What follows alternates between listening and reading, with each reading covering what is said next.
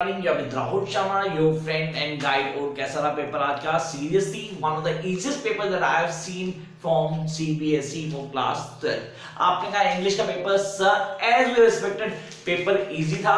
Seriously हर वो चीज़ यहाँ पे थी जो हमने एक्सपेक्ट की थी कि ये क्वेश्चन आने वाले तो यहाँ पे डिस्कशन है कि पेपर कैसा हुआ है। आउ गोइंग टू गेट 95 प्लस तो यहाँ पे डिस्कस कर लेते हैं इस पूरे पेपर को और जानेंगे कि यार किसके कितने नंबर हैं। या it's not a right time to have discussion of exam but यहाँ पे ज़रूरी कि हमें पता लग जाए हम क्या कर चुके हैं और आगे हमें बाकी पेपर्स की कितनी तैयारी करनी है। तो डिस्कस करना शुरू करते हैं। पेपर मेरे हाथ में है। पेपर का सेट नंबर दो। अच्छा यहाँ पे अगर आप ध्यान देखें तो चेंज आया सेट वन सेट टू के अंदर। वो सिर्फ़ और सिर्फ़ नोट मेकिंग और पैसेज मैच शायद हुआ है। वो भी कई में सेम ही। अब यहाँ पे क्वेश्चंस रिमेन सेम है।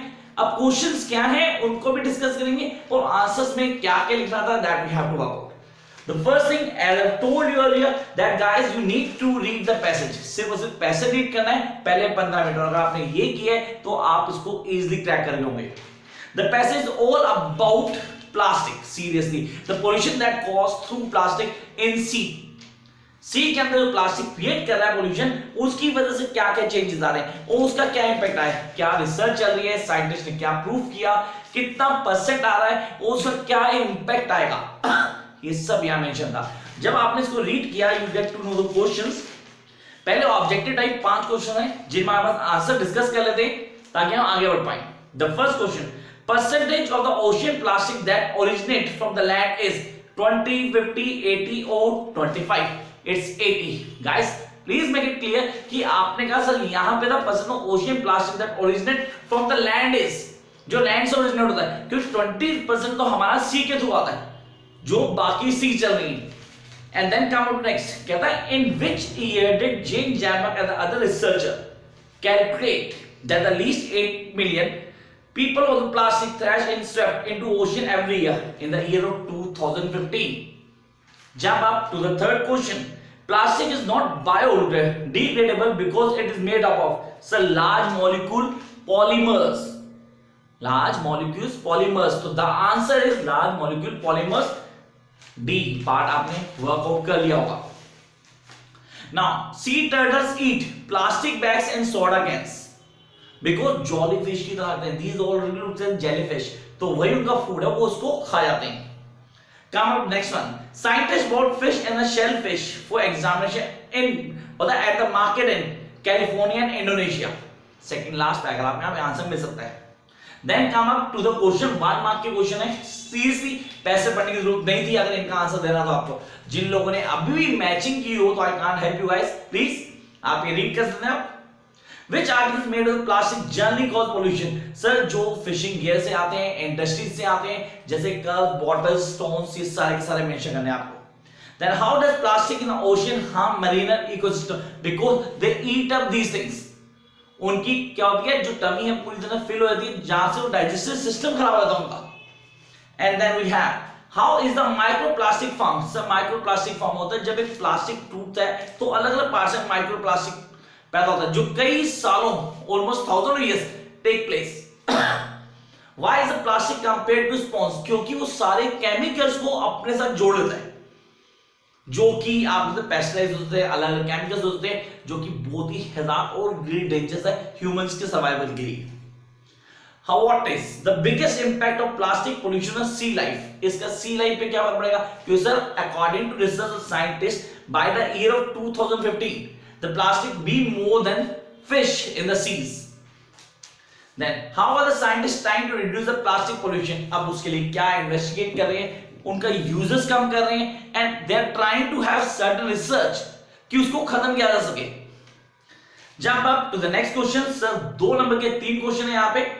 How does plastic waste enter the ocean यहाँ प्लास्टिक वेस्ट एंटर कहाँ से होता है? अभी चार में से तीन कर सकते हैं? बहुत इजी था। 80% आता है लैंड से 20% आता है सी से। जहाँ पे शिप्स और बाकी चीज़ें उनके through how is that true to say the plastic everywhere in today's world या सेकंड पैराग्राफ देखेंगे, जहाँ पे पता है प्लास्टिक के can bottle shoes even everything do have plastic somewhere वो यहाँ मेंशन करना था। Now, which problem the plastic make it to problem pollution? क्योंकि सर, ये खत्म नहीं होता। सीरियसली ये ड्यूरेबल है, चलता है, हर चीज़ सही है, लेकिन ये खत्म नहीं होता। ये बायोडिग्रेडेबल नहीं है। जो चीज़ टाइम पेपर एंड वुड इसके साथ ऐसा कुछ नहीं होता। देन कहता what are the scientist Jambeck suggest to having cleaner and healthy ocean उसके लिए प्लास्टिक को खत्म करना पड़ेगा, उसके यूजेस को मिनिमाइज करना पड़ेगा और रिसर्च शो करे कि उसके क्या इंपैक्ट आएँगे। ये आंसर थे हमारे चार जिनमें कोई तीन आपने क्यों come up to the next question major question जहाँ बच्चे गलतियाँ करते हैं। और ये इस बार बाय द चांस सीबीएसई ने बहुत ही इजी दिया। जो एक रीडिंग में हमें बताया जाता है। पिक और third of phrases from a passage just similar meaning पहला ड्रॉप और thrown para number four so why come to drop and thrown from para number four we have seen that कहता है researcher calculate that at least eight million tons of plastic trash is swept in swept is the answer swept into और thrown next one कहता है unluckily sir पैरासिक्स अगर शुरू में आप पैरासिक्स देखते हैं तो you have that word unfortunately so unluckily. Then the last, look alike, paragraph number 9. Here we are having sea turtles eat plastic bags and soda lubricant drinks which resembles. Look alike resemblance. तो sir ये थे हमारे answer section A unseen passage comprehension के अब जम करते हैं second question ऊपर वो सेकंड क्वेश्चन क्या था that is again a note picking and this is really easy as I already mention in my videos कि नोट पिकिंग करते हुए अंडरस्टैंडिंग सबसे इम्पोर्टेंट है। और अगर आपने नोट पिकिंग में ध्यान दिया तो this complete paragraph all about sleep what are the advantages of good sleep और साउंड स्लीप उसके पॉइंट्स देने थे, इसके तीन पॉइंट्स बनेंगे, अगर आपने तीन पॉइंट्स बनाए। Advantage and disadvantage and measures to take care उनको एक्सप्लेन करना था। एब्रिविएशन होपफुली आपने चार दी होंगी। और चारों एब्रिविएशन जो आपने दी हो, वो यूनिवर्सली एक्नॉलेज हो। And then you need to make the entire major point जो आपने बनाया नोट्स उनके समरी उन्हीं को एक पैराग्राफ फॉर्म में समरी बनाना आपने। तो ये थे फ्री के नंबर थर्टी जो आपने यहाँ आई होप अचीव किया जब अब to the section B section B seriously पहला क्वेश्चन सबसे इजी दिया उन्होंने। You are the principal of National Public School, Jaipur. You require a TGT maths for your school. Draft a suitable advertisement says a classified advertisement situation vacant. जहाँ पे maths का teacher चाहिए आपको अब उसकी पूरी डिटेल्स बताएँगे आप क्या चाहिए सर एजुकेटेड डेफिनेटली है सर उसके पास क्या क्या होना चाहिए वो बताएँगे एक्सपीरियंस कितना होना चाहिए क्या क्या चीज़ें आपको चाहिए उसकी सैलरी कितनी होगी you need to define everything in a particular box अगर मेरे को चॉइस मिलती तो I go for this one क्योंकि सेकंड है नोटिस ऐसा नहीं कि नोटिस मुश्किल है, लेकिन वहाँ नंबर पूरे मिलने के चांसेस कम है as compare to advertisement second ask club your school is going to organize a drawing painting competition write a notice अब ड्राइंग पेंटिंग कॉम्पिटिशन मैंने जैसा कहा था कि थोड़ा चेंज करें. Time to show your drawing skills बाकी सारा आंसर यहाँ दिया है, वहाँ से कॉपी पेस्ट करना है। व्हाट व्हेन वेयर विद हुम को मेंशन करना है, एक बॉक्स में लेके आना है and then you get complete marks come up to the next question so here we are having you have realize the necessity education financial independence of woman and their family society, and in turn for the nation, write a letter to editor. National road highlight the ideas and importance of education women. Sir इन्होंने article को letter की form में आपको दे दिया और बहुत easy था इसमें नंबर स्कोर करना यहाँ पे हम इंपॉर्टेंस ऑफ़ द सब्जेक्ट था importance of women education So through the light of this, really, I would like to draw the attention of concerned authority over the education of women. This must be your start. अब start में आप क्या क्या mention करते हैं क्योंकि सारा answer आपको दिया हुआ है second question you bought a letter again one of the easiest question complete letter है, जो मैंने कहा था एक्सपेक्टेड है। कहता, Ashok Vihar Bangalore it developed it developed certain problem regarding the functioning everything is here now अभी straight forward question था, जिसको हम बोलते हैं सर ये कंप्लेन लेटर थी, जिसको पूरी तरह लिख सकते हैं और नंबर यहाँ से ले सकते हैं.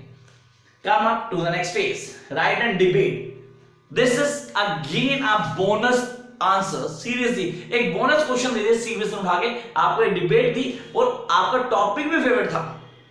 Write a debate of 150 to 200 words against the motion, intentions of the youth in use of internet and grace brain for them. Sir आजकल हर आदमी इंटरनेट में। तो उसके ऊपर एक डिबेट थी। उस डिबेट को आपको फॉर द मोशन लिखना था। तो सारे पॉइंट्स आपके पास है you need to show your views अपने व्यूज़ को एक फॉर्म में एक्सप्लेन करना था। स्टार्टअप अगेन किसी एक स्लोगन या फ्रेज से किया हो तो सीरियसली आप लोग पहली बोल पे सिक्सर मार देंगे क्योंकि टीचर पे अच्छा इंप्रेशन पड़ेगा अगर आपने स्टार्ट में ही किया हुआ तो Come up to the next question. In your locality, blood donation camp was organized by NGO for youth. People in the camp write a report writing. Seriously रटा रटा है क्वेश्चन आया ब्लड डोनेशन कैंप ऑर्गेनाइज किया गया हमारे यहाँ अब उसके ऊपर आपने लिखना ये फॉर्मल था पूरी तरह से फॉर्मल है कोई फॉलो करने की ज़रूरत नहीं है नेम डेट प्लेस बाय शुरू करेंगे।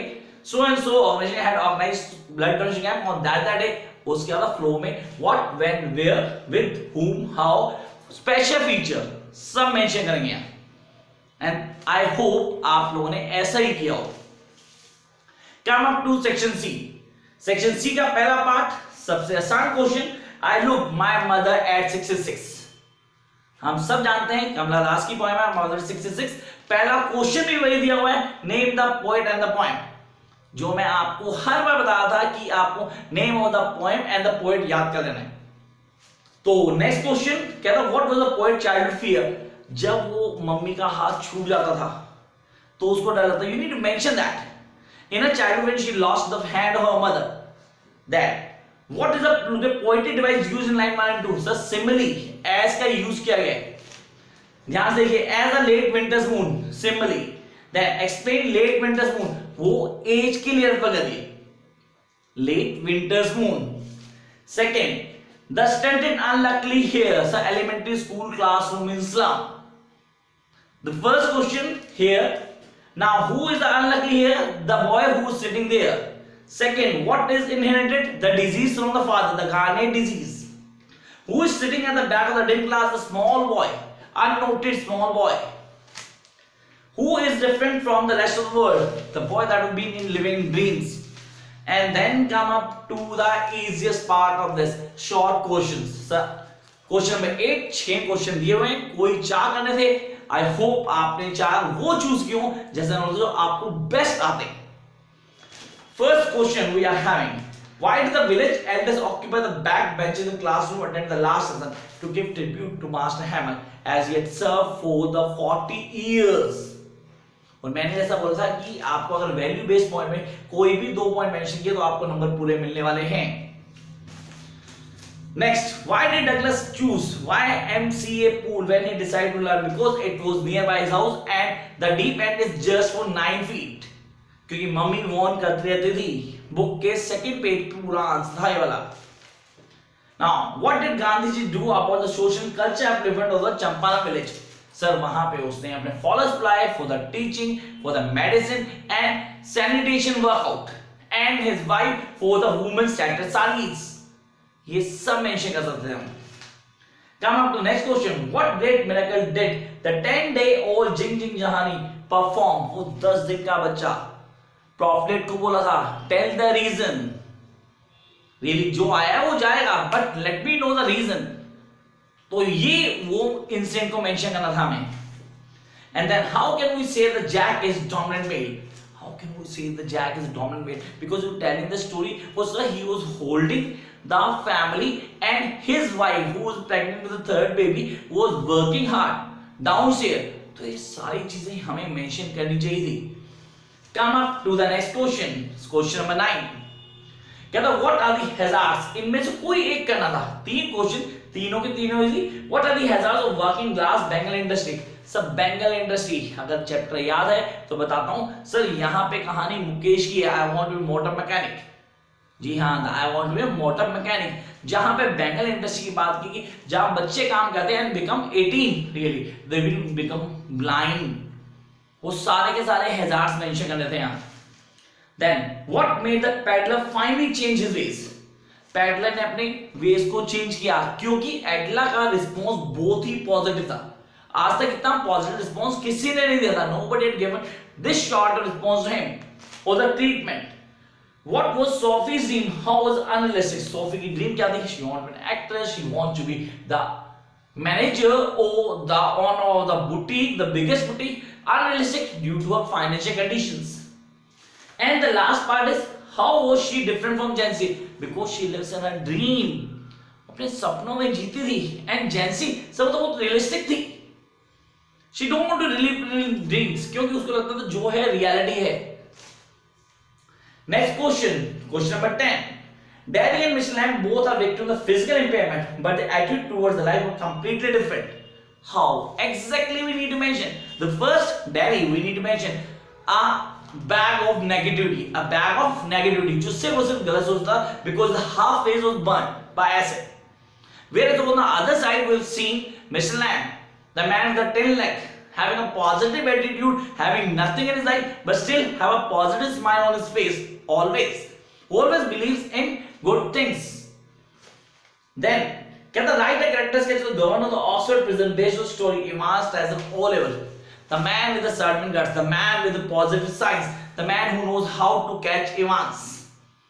From beginning to the last, we need to mention the characteristics of governor. Come up to the last question. Why did Bama store the marketplace instead of hurrying back home? वो market से घर जाते हुए वो snake charmer the monkey man and the all other activities ये सारी देखते हुए आती थी। वो सारा का सारा फ़र्स्ट टू पेजेस जो स्टोरी के ना, वो सब मेंशन करने हैं। You really need to give the glimpse of these hopefully आपने किया इनमें से जो भी आंसर किया है, उसमें यही लिखा हो आपने। And then come come to question number number anyone choose तो फ़र्स्ट टू डिस्कस करते हैं इन्विजमेट के एज अ टोल्ड यू कि इन्विजमेट को वर्कआउट करना है आप लोगों ने। First why was Mrs Hall happy to have a guest at cousin Hall season how did the change up behave at the end so it was off season series of season of season में guest series surprise था। Sir एक package था जो मिल गया by the chance and she was really very happy and on the other half sir जो stranger definitely बहुत ही रूड बिहेवियर वाला था। तो उसका बिहेवियर पूरा मेंशन करना है how it come in the end and what was the sequence certain circumstances और the consequences we need to mention next one describe Mr Marvel meeting with marine at the port of sir Marvel Marvel वो port पे गया था, बैठा हुआ था he was in panic seriously क्यों भाग चुका था वहाँ से? And there was an ancient mariner, the old ancient mariner, who was trying to talk with somebody. Was really mentioning the news about the innocent man? वो innocent man वहाँ से आ चुका था। तो मावल यहाँ से भाग जाता है। उसको बहुत बुरा लगता है कि उसकी बात नहीं सुन रहा हो। You just moving out from that place ये इंसिडेंट था chapter number 14 come up to the next, last question question number 12 how does the novel the innocent man highlight the theme of corruption and moral absence of social restriction? जब किसी की social restriction नहीं होती तो कहीं ना कहीं आदमी करप्ट हो जाता है। जो पूरी तरह से बिगनिंग से लेकर लास्ट तक आपको ग्रिफिन की लाइफ में चेंजेस है, वो मेंशन करने थे and then it's a value based question as I told you in the last class. Then compare the contrast Griffin and Dr. Kemp. Sir, again question आ गया Griffin और doctor के character sketch को define करना था उन दोनों में comparison में बताना है दोनों ही साइंटिस्ट थे दोनों ही एक ही कॉलेज से थे दोनों ने साथ में स्टडी की थी बट एक सक्सेसफुल बन गया और एक भी सक्सेसफुल था लेकिन इन नेगेटिव वे उन दोनों को हाईलाइट करना I hope guys that it was a wonderful paper for all of you.